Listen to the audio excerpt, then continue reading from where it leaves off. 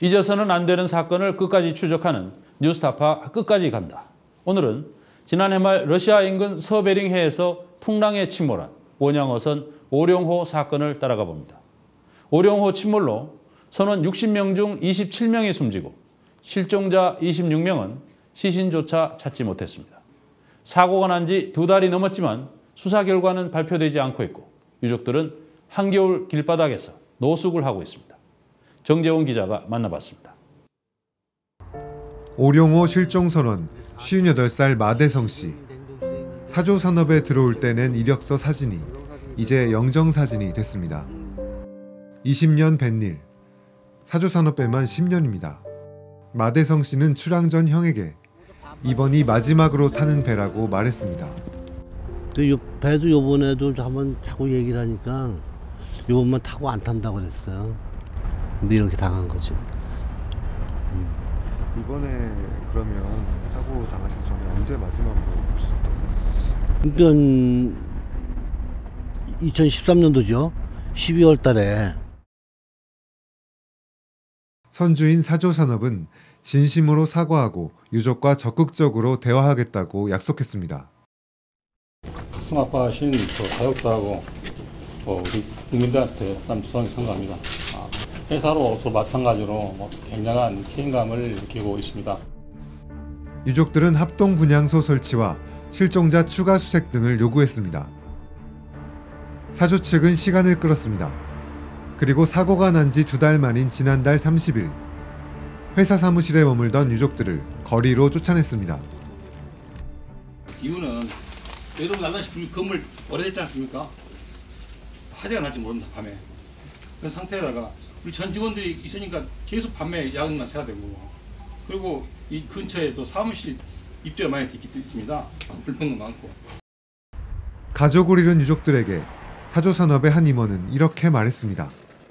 이렇게 배우러 만났으면은 오늘 어떻게 일어나는 그게 안 된다고. 한국 사람들이 살아서 왔다 간부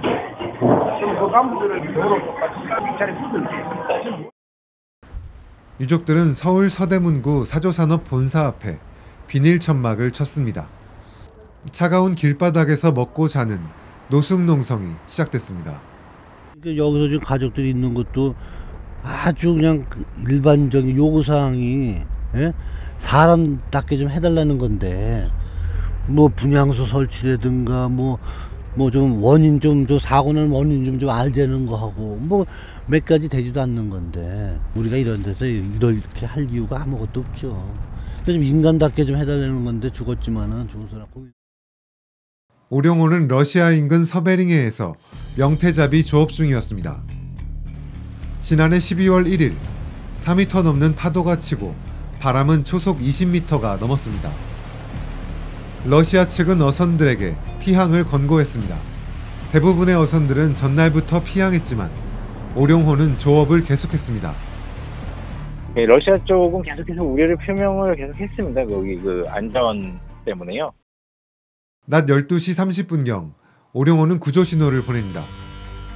오후 2시 기울어가는 오룡호 앞에 인근에 있던 어선 카롤리나 77호가 도착합니다.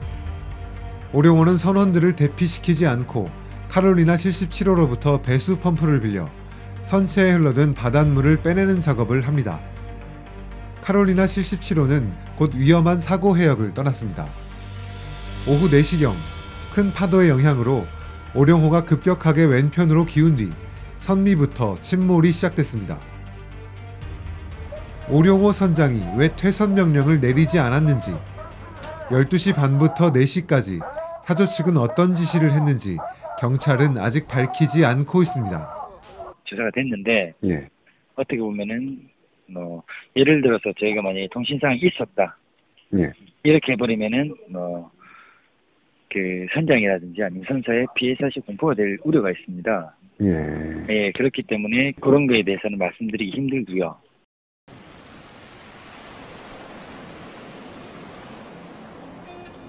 유족들은 오룡호가 이미 비용을 지불한 명태 쿼터를 채우기 위해 무리하게 조업을 했다고 주장하고 있습니다. 실제로 오룡호는 기존의 4,400톤 쿼터에 3,500톤 쿼터를 추가로 배정받았습니다. 과연 고기 그 쿼터량을 채우기 위해서 사주 측에서 시킨 건지 제가 사견으로 봤을 때는 무리하게 여기서 강행하지 않았나 그- 그런 느낌이 많이 드네요. 아, 물론 이제 더 하긴 하는데 그것 때문에 사고가 발생한 건 아니라는 거죠. 그 쿼터를 그만큼 더 할당한다고 해가지고 선박의 어떤 안전에 문제가 생기거나 네. 이런 게 아니고 이제 선박이 충분히 그건 그뭐 문제가 없는 범위인데 뉴스타파가 입수한 해양수산부의 오룡호 승선자 면허 자료입니다. 선장과 기관장은 자격 미달이고 규정상 필수적으로 승선해야 할 기관부 2기사, 3기사와 통신장은 아예 승선하지 않았습니다. 사조 측이 비용 절감을 위해 자격이 없는 인력들로 어선을 운용한 겁니다. 물론 뭐 물론 법이 이제 법을 어긴 건 맞죠. 저희도 뭐 사고 난 이후에 알았는데. 근데 제가 생각할 때는 그때 사고 당시에 타고 계셨던 선원분들이 충분히 해결 능력들이 다 계시고 네. 다 능력이 있으신 분들이라고 저는 생각하거든요. 무리한 조업의 소홀한 안전관리. 오룡호는 결국 침몰했고 승선 인원 60명 가운데 53명이 사망하거나 실종했습니다. 빨리 와가지고 조금만 더 빨리 태산 면역을 했으면 또 대부분 사라지지 않았을까요? 옆에 배도 왔잖아요. 그러면은 내 펌프를 주는 대신에 사람 먼저 구했다면 아마 조금이라도 더 살 수 있었을 것 같은데 그 부분 참 안타까워요. 근데 사조 측은 보도 자료를 통해 유족들이 겉으로 말하는 것과는 다른 목적이 있어서 시위를 한다고 선전했습니다. 이분들은 이제 이게 뭐 어쨌든 간 나쁘게 이야기하면은 보상금이 적당한 이유로 해가 시신을 인수를 안 하신 거니까 다른 두 분은 하셨고 사조 측은 또 업계 최고 수준의 보상금을 지급했다고 주장했습니다. 합의를 한 선원들의 보상금은 평균 3억 5천만 원 정도입니다.